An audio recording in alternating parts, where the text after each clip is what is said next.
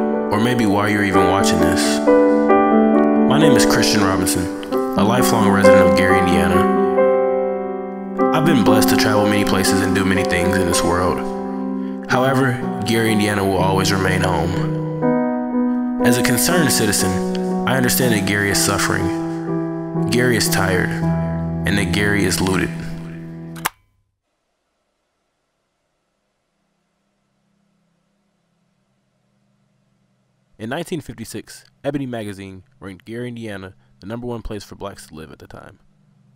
Around the peak of the city's history, Gary was once home to nearly 200,000 citizens. In the late 50s, urban living became obsolete, causing Gary's population to split. Those who could afford to do so moved South County, which led Gary to becoming one of the most segregated cities in America. growing up in Gary was um, was a dream. In fact, um, it was a city full of resources. It was a city full of activities. Uh, the city was thriving. There was a thriving downtown. Of course, there was a point during um, my teenage years when it became clear that something was changing. Uh, there was a time when my mother and I would come downtown and start in the 800 block and go all the way down to the 500 block, and the street of Broadway uh, was full of stores. Probably by the time I was 13 or 14, there was only mo- one movie theater downtown. Uh, the stores were starting to leave. You could see uh, a marked difference, and that was in se- in the early 70s, really. Yeah, uh, when I was a child, Gary was in its heyday. It was a bustling, uh, robust community. Uh, it was a hub of shopping for Northwest Indiana. Uh, people even came from the east to shop in, in Gary. Uh, we were thriving. There were very few vacant homes. Uh, people were looking for places to live. We were proud of Gary, Indiana. It was it was our home. Growing up was very exciting because I grew up in a business family. My dad uh, was the first African American to open a gas station in uh, Gary, Indiana, uh, in 1923 or 1925. Yeah, I, I was I had a kind of a sweet upbringing in terms of activities. Uh, I was a Girl Scout from third grade until um, I graduated uh, what they call like middle school. I was also in Jack and Jill, which was where you know one of my best friends today. That that's where we first became friends. I was involved in my church a lot, Israel CME and the children's choir, and also within the youth usher board and ministry. And then I also was involved heavily in politics and public service. I grew up in that tradition. And so from registering former convicted felons to driving people to the poll to being dropped off as a canvasser, uh, both with Obama's campaign in 2008 and with my own mom's and our family friends, uh, and getting kind of dropped off on the block, and people saying, "Okay, now you knock on doors." You know, I I had that upbringing, and I was able to be involved in that stuff growing up in Gary. If your family resided between 11th Avenue and 25th Avenue, uh, there were quite a number of black men and women who had uh, had businesses. They had um, gas stations, they had the drugstores, they had cleaners, they had auto repair shops, uh, all the professionals, the attorneys, mm, the, the EMDs, the dentists. Uh, in fact, my dentist growing up was Dr. Marshall, who incidentally uh, was the father of Bill Marshall, the actor. And while Bill was going to school, he worked for his dad uh, as an assistant to uh, assisting him in denti- dentistry.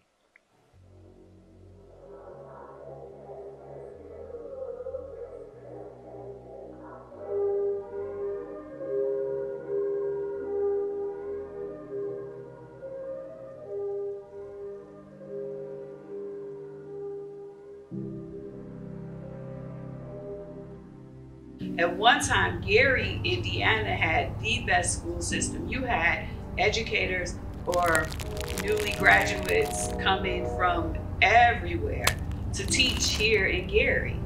And so that was a part of the Black Mecca. You came either here to teach or you came here to work at the mill. Now, both of those opportunities, as you would say, are no more. Um, we, we can't get anybody who went to school here at the Indiana University campus to even stay here and teach because it's it's just not there anymore, and that saddens me.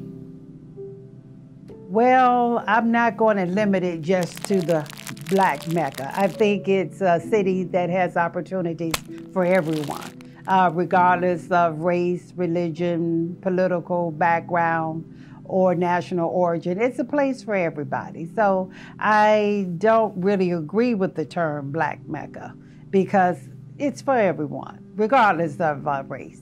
What about City of the Century?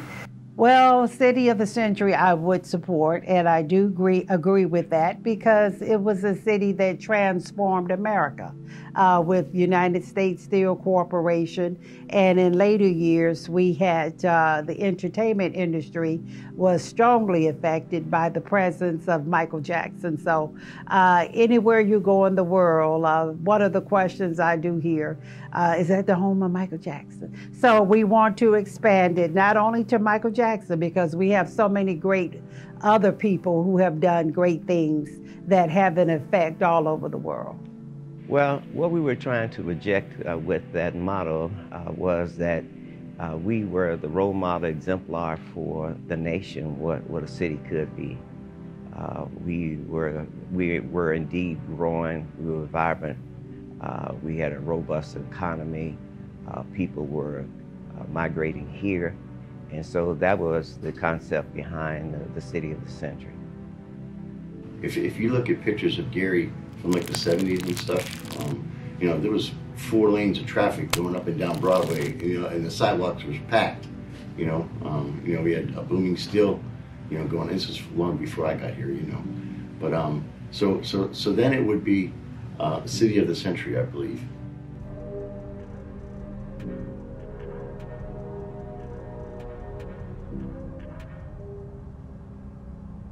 The Honorable Katie Hall was first elected to the Indiana House of Representatives in 1974. Uh, two years later, she ran for the Indiana State Senate and she was a successful candidate. Uh, she was the first African American woman elected to the um, Indiana General Assembly from Northwest Indiana.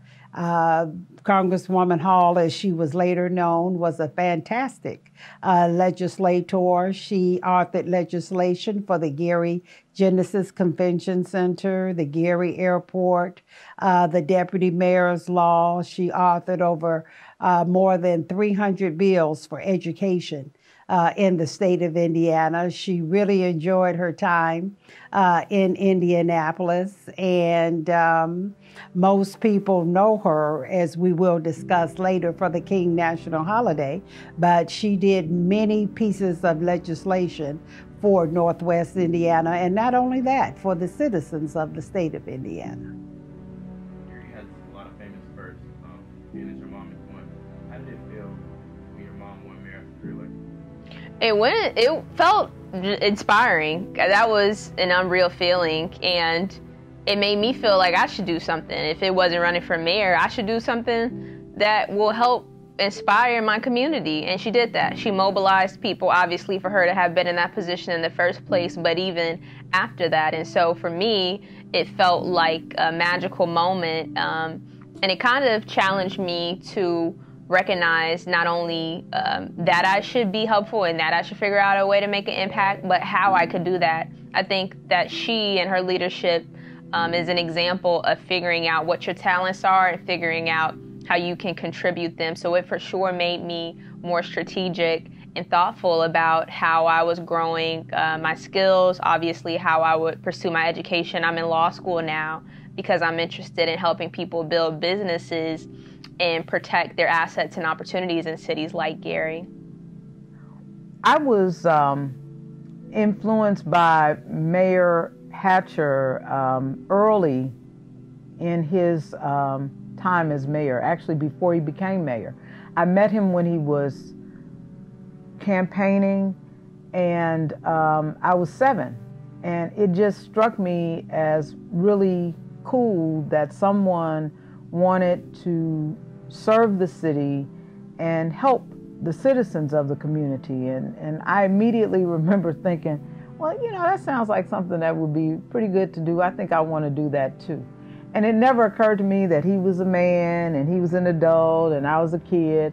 I was just um, thinking that that was something, one, that needed to be done and that uh, I certainly wanted to do. And so during the course of his time in office, and he served 10, 20 years, he often uh, made himself available, and not just to me, to all youth.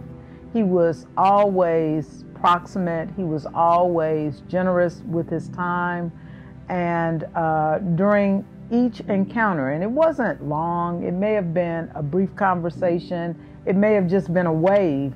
I always felt that he was a, a source of motivation and encouragement. And so um, as I got older, I was always thinking about how I might serve the city and how I might serve the city as mayor. Richard Gordon Hatcher, born on July 10, 1933, became the 16th mayor of Gary, Indiana, and the first black man to become elected mayor of a major U.S. city. Hatcher was born in Michigan City, Indiana, he attended Valparaiso and Indiana University. Hatcher launched a primary challenge against an incumbent mayor, Martin Katz, in the Democratic primary, and he won by just 2,300 votes. But when I was in high school, I actually uh, was born in 67, so that was right at the peak of when Mayor Hatcher became mayor of the city of Gary. Um, I think it was like maybe 175,000 people. And we were really, even though I could be like maybe two years old, but we were really from that time until I would say my high school years, really feeling the whole Black Power kind of thing moving over our city. Everybody was so proud. Everyone was so just um, you know, in love with being from Gary, Indiana, because we had so many things going on. Uh, Mayor Hatcher, I consider him um, an icon and somebody that I look up to personally. Uh, as someone who's very interested in politics and as a civic tech entrepreneur, he was on the new frontier of politics as it was becoming something that black people saw themselves dominating. And obviously, my mom, I think, is in that line of folks who were just pioneers for what it meant to be black and to be autonomous and to be able to be in a position to really do things and inspire and uplift your own people. Certainly, she was a shining example and is for young black women, but just folks who are on the progressive side of politics in general. Other firsts that have um, really inspired me within the city are Glenn Robinson. I'm a huge basketball fan, but just to see him hold his own nationally, it was incredibly inspirational. And Ron Sullivan, who's a mentor of mine, um, and he's the first in the sense of some of his academic capacities, but he's also, I think, one of the more talented academics that has ever come from this city, and he's just fervent in every way um, as he sort of expands his scholarship to figure out how we can get so many black men who are currently incarcerated out of the system. Him during that period shortly uh, in early in uh, 68 now he's sworn in uh, and uh, by the way there's always been this major debate as to who was the first african american mayor. He or carl stokes of cleveland who also won. But i think hatcher's claim was that he was sworn in first uh, in s- late 67 or the early part of 68 so now it's april of his first year. Um, and I'm about to, with my wife, go back to Philadelphia to apply for teaching jobs in Philadelphia. When I get a call from his office uh, and asking me to come down to uh, his office on my lunch hour, I'm thinking it's just to say, don't let that teacher's organization fizzle. Try to keep it together and functioning. I get to City Hall and he offers me a job with his administration. Well, two things are wrong with that. I'm I don't know anything about municipal government, and secondly, I'm got one foot out the door, getting ready to go to Philadelphia on the spring break later in April to apply for a job in Philadelphia. And I offered a million excuses. I said, Well, I'm under contract. And someone picked up the phone and called a school board member and asked whether a teacher can get a, le- uh, a leave of absence. And in short, swift, they said, Yeah, we can do that. Uh, I said, well, I don't know anything about municipal government. I said, then as I mentioned, that Gary was an urban laboratory. There were all kinds of consultants in and out and technical grants and so forth. They said, we'll get you some assistance. I'd run out of excuses, so I said, well, let me talk it over with my wife. And she accepted the challenge as well. If that's what you want to do, we can try that. And I started with him in um, after the spring break in, in April and was with him all through 1988, his four terms in office.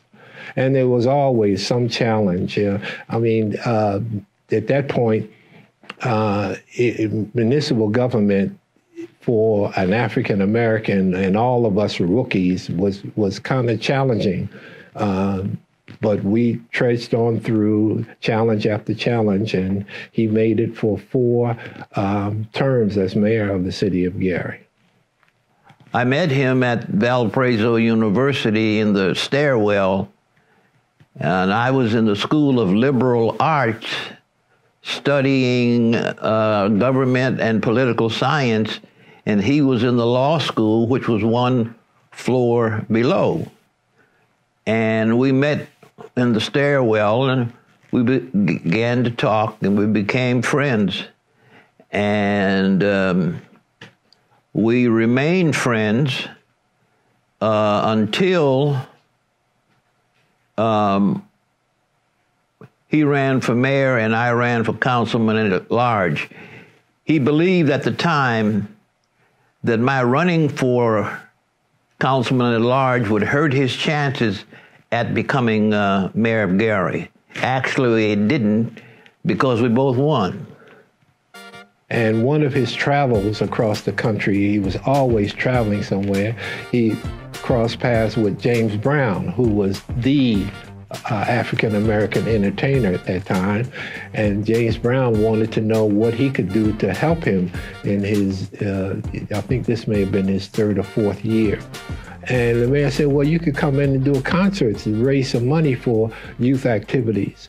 Uh, that turned out to be a debacle because I think part of it was that James Brown was disappointed after all of the arrangements were made that the mayor was not there personally to greet him at the airport. And Gary had never had uh, uh, activity that, that size at West Side. West Side Gymnasium could seat 6,000 folk. And Gary at that point wasn't accustomed to buying tickets in advance. So it was a cold winter night and the line was wrapped double around the gymnasium. People wanted tickets in this was the early late '60s. I think the tickets were only five or six bucks, uh, but people wait till the last minute. Don't didn't buy tickets in advance, and they uh, we were trying to collect that all that money and get folk into the gymnasium out of that cold.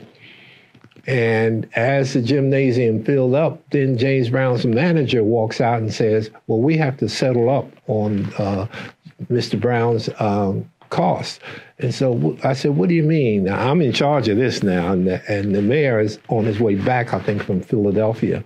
I said, What do you mean? This is supposed to be a benefit concert. He says, Well, Mr. Brown has expenses and if it were a, benefit, true benefit, we would not have brought the full band and all the dancers and so forth. I said, my goodness. By the time we finished counting up the money, which was at that point, it's hard to count up to $15,000 with all those singles and $5 bills, which delayed the concert even more. People in the gymnasium are restless, angry, all this two hours now after the starting time. Um, we counted the money, $15,000 roughly. The James Brown's manager took it, put it in two or three briefcase and said, Mr. Brown will now come on stage. Long story short, I said, man, now the mayor is back now wanting to know, well, what's going on? I said, well, it wasn't exactly a benefit. Mr. Brown wanted to be compensated for all of this. And now I don't know how in the world we explained the next day that we had the largest concert in the history of Gary and don't have a cent in the bank to show for that and it was difficult explaining all that and it became it got it made national news once more. Soul brother number one arguing with a first african american mayor. And so james brown's people then wanted to kind of soothe that over and wanted them to get together on national tv to say it wasn't that big a deal or whatever we can resolve this. Interestingly enough a couple of months after that the mayor calls me at home and says, uh, Charlie, did we file all those papers for the, the Youth Foundation? I said, no, man, they're on your desk somewhere. And he says, well, we need to go ahead and get that done. I just got a call from Bill Cosby, and Bill Cosby wanted to know more about what happened between me and James Brown. And I explained to him, and he uh, wanted to know how much money did we lose on that. And I told him the, about $15,000. He says, well, don't tell anybody, but I'll send you a check for that amount that we did not get as a result of the confusion between Hatcher and James Brown. And that story was never told publicly about the fact that Bill Cosby, that was, I mean, that was like you're writing a check for $5. Uh, he, wrote a check and sent it here for the $15,000, which saved our buns uh, as a result of having to explain we didn't have any money in the in the Youth Foundation account as a result of having 6,000 people jammed into a gymnasium.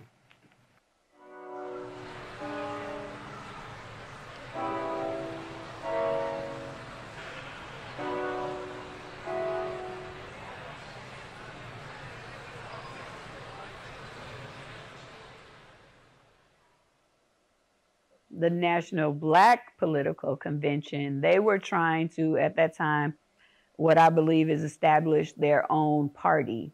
Like they didn't want to be a part of the Democrats, Republicans. They wanted to have their own black national party. And they came here to Gary in 1972.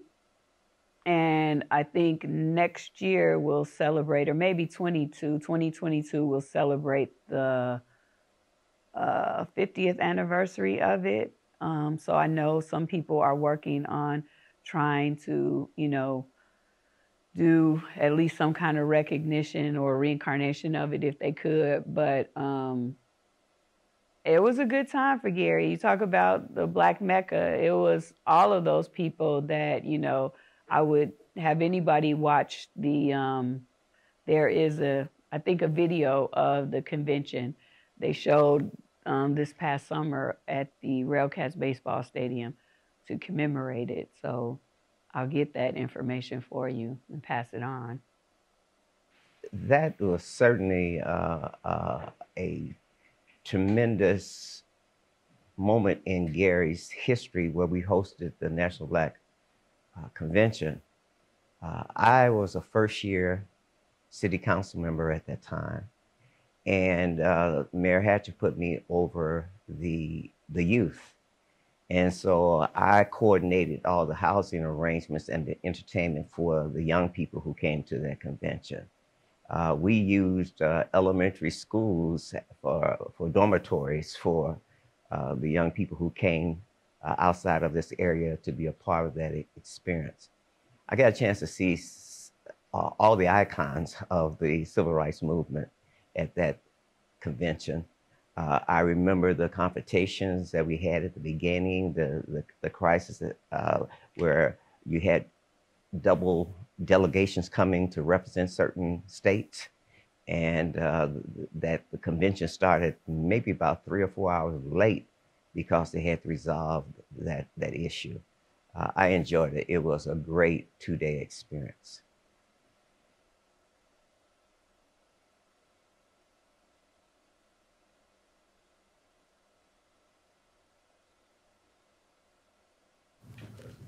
What makes Gary so special or significant to you?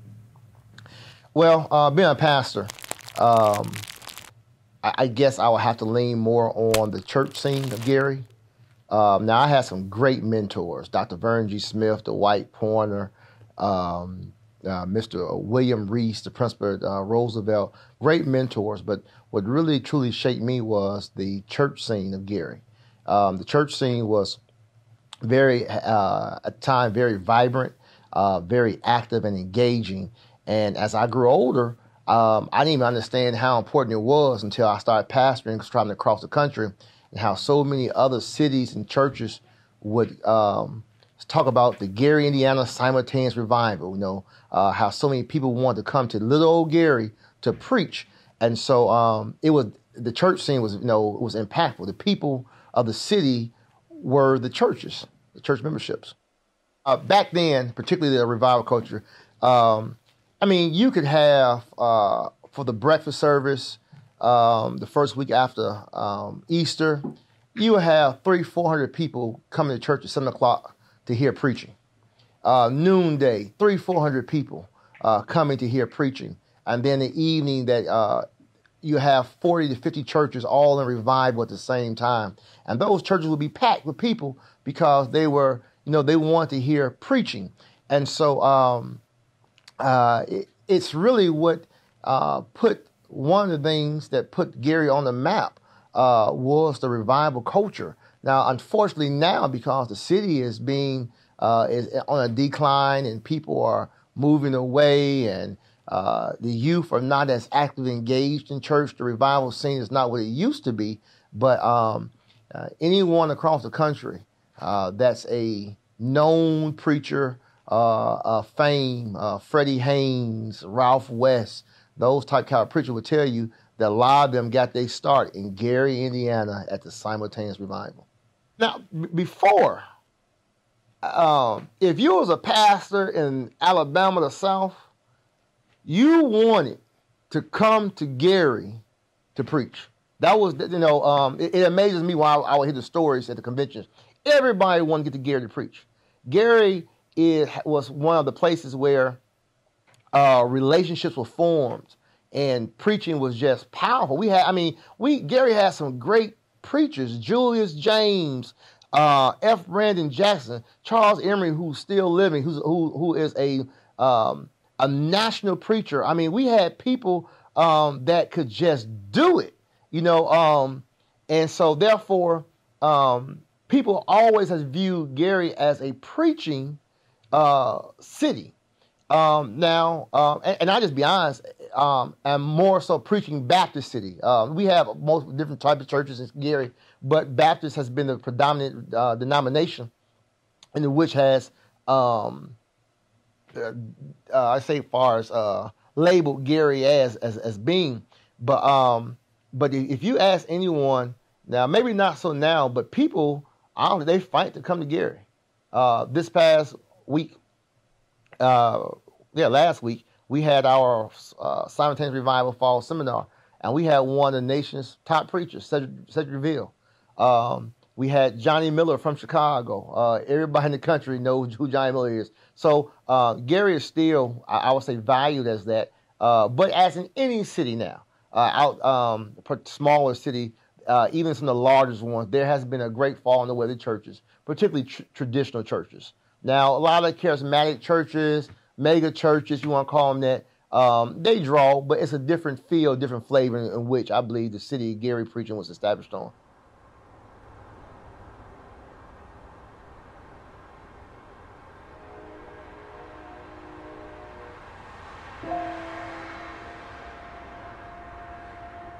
there were there was an effort on the part of of white activists and p- political figures to have Gary's uh, southern boundary extended to to United to U.S. 30, uh, which is Merrillville today. Uh, Hatcher opposed that. He, he did not want the uh, boundary to go beyond 53rd Avenue, and, and he believed that it would handicap him from being reelected as mayor of Gary. And so the, um, there was legislation uh, introduced by, I believe was Adam Benjamin, who was state senator, state senator at the time, that eliminated the buffer zone, uh, which existed between Gary and Merrillville, the unincorporated, unincorporated area of, of the area.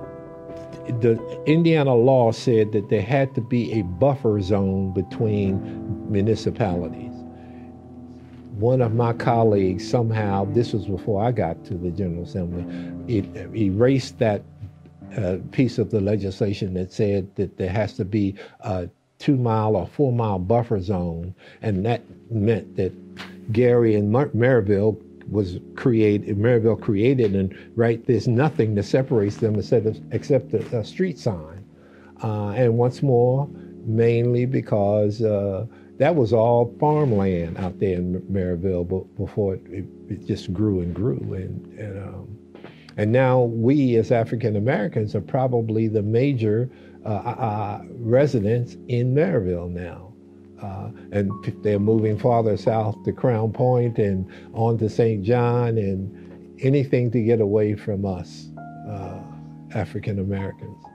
But the lakefront is not going anywhere and U.S. Steel is not going anywhere. So they all, I mean, early, it's five or six o'clock in the morning. If you stand out there somewhere near I 65, it looked like it's daylight out there because all those cars traveling into the city of Gary because the majority of the employees are from are, are uh, white and live outside of the corporate limits of Gary.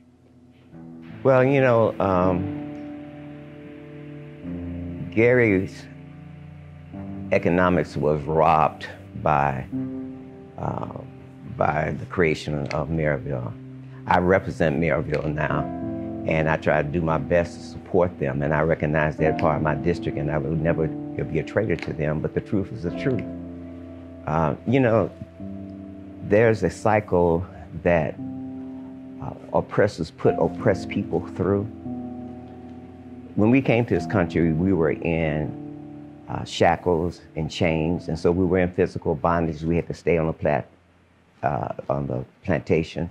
We had to go where the master said we had to go. We had to do what the master said do. So we were in physical bondage.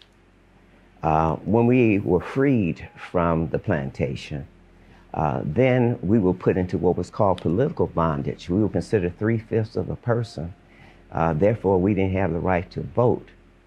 So when we broke out of political bondage, cities like Gary, uh, when they broke out of political bondage, what the oppressor did was put us in the next phase of bondage, which is economic bondage. They took away the lifeblood of our community. What is the lifeblood of our community? It's, it's the tax base that we had. It's the businesses that we, that we had. And so we got a Chet Dobis who uh, took our buffer zone, which was our growth area, and created a city, a town in, in, that, in that, that area. So they put us in economic bondage. What automatically comes with economic bondage is a social bondage. If you don't have resources, people begin to exhibit antisocial behavior. And so what we had was the, the naming of Gary being the murder capital of the Midwest, and we had drug sales and people doing all kinds of things to survive. And so we were in social bondage. And, and once you're in social bondage, what happens is with your antisocial behavior, you end up going to prison. Prison is a new plantation. And so we're back in physical bondage. So when you get into physical bondage back in, the, in, in prisons, then you come out and you don't have the right to vote. Initially, you come out, you, all, all of your rights to vote is gone, so you're back in political bondage. And because we don't have the knowledge to understand that in this state and many states across the United States, once you become a felon, you can never vote again. But in Indiana, you can. I've tried to convince, convince inmates, uh, uh, ex-inmates, that uh, ex-felons that that they can vote, and they said, "No, I can't. I can't vote. I'm not going to get in trouble. I'm not going to register to vote." And so we're, we're, back in political bondage. So so they're back in political bondage, and they go back into economic bondage. We also got a record it's difficult for you to get a job, so you're in economic bondage, and then you go from economic bondage, you got to survive, you go back into a social bondage, you start doing antisocial things, and you end up back in prison. We call it recidivism. It's a process, and that's what oppressors are doing to us. And you know, we we have the, uh, a, a a city here that is a prime opportunity for anybody who wants to come in and invest. But what's going to happen is that they're going to let Gary go down as far as he can go down. They're going to come in and buy it over up and take it over. That's what they did in Annapolis. Look what they did in Annapolis. When I first went to the legislature in 1990, when I went down there, downtown in Annapolis was the pits.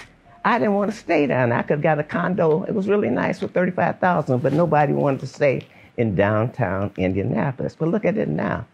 And that's what's going to happen. That's what's going to happen to us, and we don't understand that we have a diamond in the rough and that we need to hold on to it. The streets of Gary, Indiana changed during the crack era of 1980 and 1990s. In the 1990s, as the city became crowned for having the highest homicide rate in the country, it was given the name Murder Capital. The only thing I knew about Gary was that it was uh, the murder capital of the United States, I think. Gary was known as the murder capital in 1994 and 2005 because the crack cocaine epidemic hit Gary hard. When you are living in poverty, when you see your city decline before your eyes, that leads to a lot of hopelessness, particularly if you can't get a job, if you can't support your family if you don't have the means to do what people expect to be able to do. And so, as a consequence, people turn to um, alcohol and other drugs, and those other drugs uh, included crack cocaine. And because of the highly addictive nature of crack, and because of the um, drug dealing and other criminal enterprises associated with crack, uh, Gary had an increasing murder rate and because of the statistical analysis made us one of the highest per capita uh, murder rates in the country. I, I, I can remember though uh, growing that time because everybody, you know, I, um, by the time I was a senior at Roosevelt my freshman year, I think um, off the top of my head, I had lost about nine friends to gun violence. Um, and so, in doing so, um, uh, you know, you had this fear. Matter of fact, one of my best friends was killed immediately after we graduated from high school. Um, you know, will I, you know, will I be shot? Will I be next? Am I gonna get hit by the stray bullet? And um, and and honestly, uh, I had the guns put up, pulled on me in some circumstances. Uh, I was in places where you know uh, people had been shot at, and um, but I thank God, my relationship with God, that I was never a victim. And so I can remember praying, uh, saying, "Lord, please don't let me be shot." Man, I, I mean, we could talk about this for, forever because the same thing happened in every other inner city across the country when our government introduced drugs, cocaine into the into the inner city. Um, it was devastating, and I think here we had a we had a, a, a trifecta because you know people were coming back home. No, that was the 70s. So people coming home from war, but no, we had a, a double whammy. The steel mills started to close, which had employed a lot of people in this area. No other jobs were around, and drugs were introduced. For me, that's a recipe for disaster. And people talk about why, well, if you don't have any money, why do people turn to drugs? I'm like, everybody didn't do drugs. Most people sold drugs, and they sold drugs out of necessity. And government made our made the made getting drugs easier than it was to get a job, and people took advantage of it. And you know, that's when Gary, when people started, you know, killing each other over uh, street corners and and you know, stealing and robbing and, and everything that comes with, you know, a place where there are no jobs available. We had four steel mills and we only have one now, and that's U.S. Steel. That hurt our economy. That hurt our people because now you had to go outside of the, the city of Gary to find a job, and most people worked in Gary. They thrived in Gary. They shopped in Gary. And now you don't have that. You have all that taken away because of, you know, I don't know what happened with our steel mills. Uh, well, I do know what happened. They were outsourced to China and all those places. And when you have that happen, you know, the consequences were we were running around like we are in the jungle, like the Wild Wild West. And it was it was rough. I mean, I've seen, you know, friends get killed over drugs. Some of my best friends end up selling drugs. Some of my best friends end up going to prison. Um, and these are some of the guys who had two parent households that fell into the trap of making quick money because there weren't any jobs around. When I think about uh, Gary today, um, the most important resource that we don't have is uh, tax dollars because of the white flight, because of the decline of our industrial and manufacturing industries, we have uh, probably half or less the tax base that we once had. And as a result of that, it is hard to uh, create a city that people can be proud of. Uh, the city looks run down. Uh, the schools are suffering. So you don't have the education that you once had in the city of Gary. In fact, Gary was once regarded as a world class educational system. Uh, you don't have that regard anymore. And uh, at the end of the day, the tax dollars have had a devastating impact on government in Gary and as a result on the city of Gary.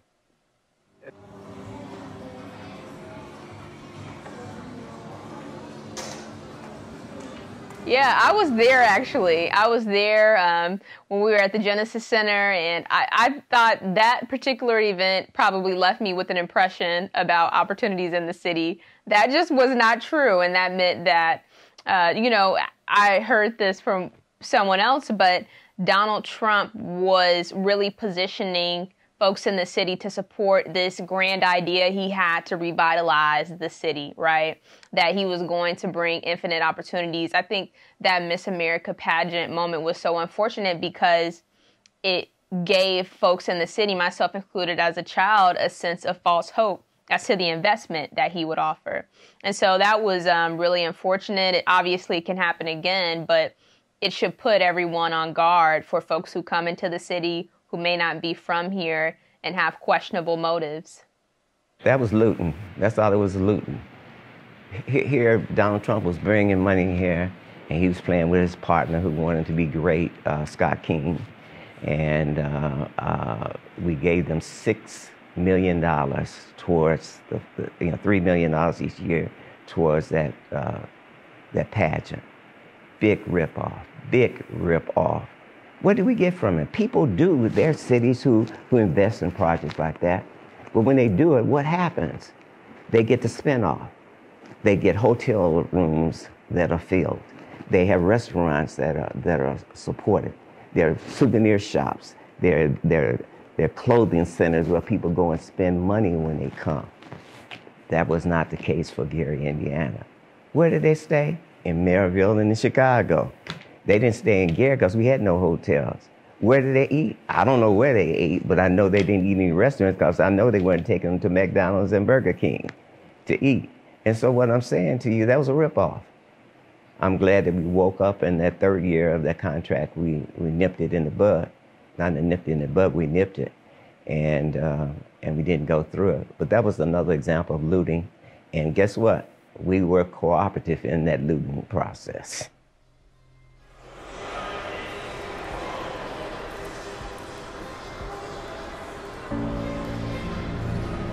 I think that um, back in 2005, when Gary was the murder capital, I was probably four or five during those times. I remember um, different things happening when my brother was losing friends. Um, his friends were getting killed, and that was another reason why in 2005 my mother moved us to Merrillville. But I still attended Gary schools. My brother attended Merrillville High School. So my mom um, always said that she refused to lose her son to the streets of Gary. So when we moved to Merrillville and my mom put my brother in Merrillville schools, he still was a part of AAU for Gary. Um, he still did a lot of different things like that. So the dynamic of him still hanging with his friends in Gary was there. Um, so for me, finally in 2007, when my brother Anthony was killed in the streets of Gary, it kind of put a damper on our family because the same exact thing that my mother worked so hard to protect her child from um, ended up being the thing that she could never protect him from. I think that a lot of actions of young people um, in the city of Gary is because of the environment that they are living in. They become a product of their environment, and you have choices in life. And sometimes, even with having a choice, you still become a product of where you come from. And I feel like um, with the young man that killed my brother Anthony, he was 15, my brother Anthony was 16. And the way of forgiving him for me was at 15, he made a decision that changed his entire life. And um, he was released this year, 2020. And I decided to forgive him. I decided to let him know out of my mouth that I didn't hate him. Um, I had no anger in my heart from him that he owed me nothing, but he owed God everything. And the reason behind that is because I understand how you can become a product of the area that you're in, trying to fit in. Um, the night my brother was killed, he went out with his friends. They got into a fight. Um, he got out to break up the fight with his friends, and the young man that killed my brother, friends told him to shoot. And so, in that situation, I don't think that he meant to kill anyone. I think he wanted to fit in, he wanted to feel loved. So, when you think of young people that come from an environment of wolves and you're trying to patch them up and you're trying to give them different things, if they don't know how to be loved, how can they express love? We kind of got this silo thing going on know, uh, everybody has to have their own, and I'm not sure why. There's so many brilliant, brilliant people and hardworking people out here, um, and and can actually create for themselves, you know, an opportunity.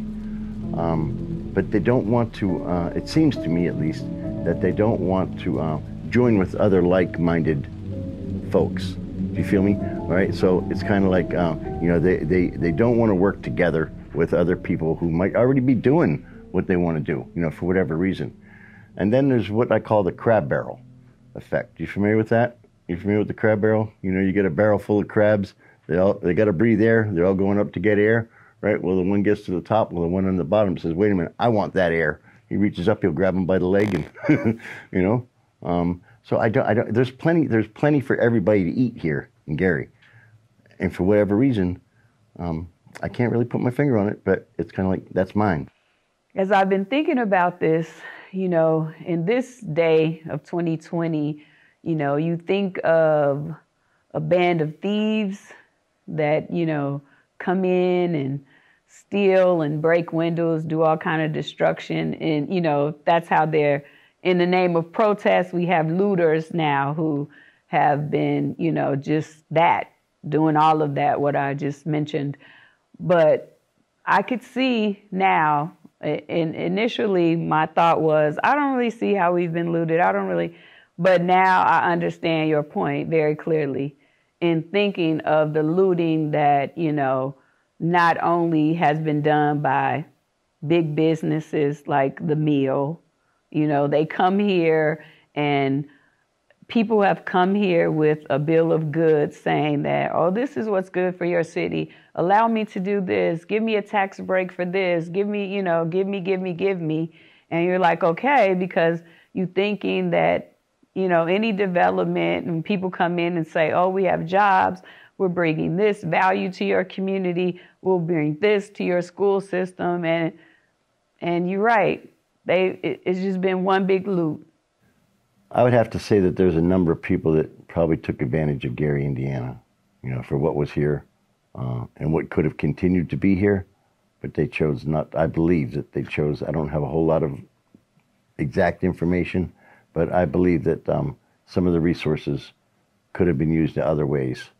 I think Gary has been looted of some of the more material and tangible things. Obviously, businesses, thriving schools, libraries, and all sorts of innovative spaces that will help us build our education and vocations. But I think the city has been looted of some basic things we need to thrive, like love. Well, looted to me means that something is uh, being taken away uh, unfairly uh, that someone else is taking advantage of the resources that belong to a certain person or a certain group or a city, and without just compensation. Uh, loot is when you take. My definition of looted is something important being taken away, something vital being taken away from a community, depriving them of something that is needed, not even a community, but anything in life. Gary has been looted, been looted by big business.